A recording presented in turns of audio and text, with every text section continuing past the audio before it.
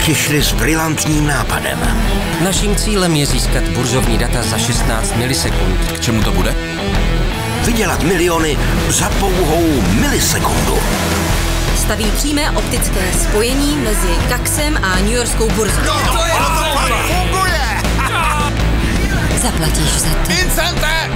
Vydělali jsme půl milionu za pět vteřin. Stůj! Jesse Eisenberg, Já tě varuju. Salma Hayek Stůjte! ve filmu Operace Kolibřík.